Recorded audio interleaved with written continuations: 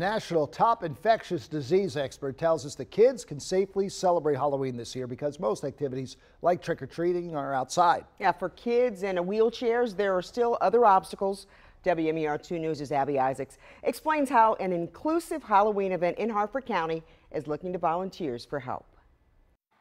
For children in wheelchairs, dressing up and going trick-or-treating can be a challenge. So Harford County is looking for volunteers to help make this Halloween extra special. He's so excited for his costume this year.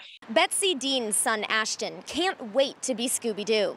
Last night he said, let's go. And I said, where are we going? He said, it's time to go trick-or-treating. she said, not quite yet, but soon he'll be all decked out, thanks to the Wheelchair Costume Workshop.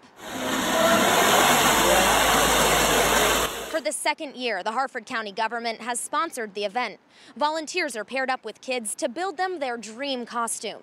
It is pretty neat how they can transform a wheelchair into a moving uh, costume, and they really are fabulous. Then they show off the costumes in an inclusive trunk or treating event the day before Halloween.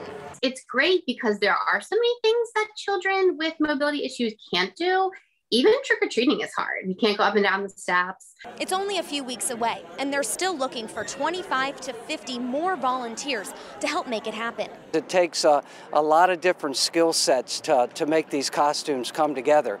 I think this year we've got Scooby Doo's van, uh, a dragon, an underwater uh, spaceship. Dean hopes more people will volunteer to help turn Ashton and other children's dreams into reality. It just means so, so much to families like ours and children like ours. The costume build is Friday, October 29th and Saturday, October 30th here at Mount Zion Church in Bel Air. There's also still some time to sign your child up to receive one of the costumes. We have information about how to get involved on our website, WMAR2news.com.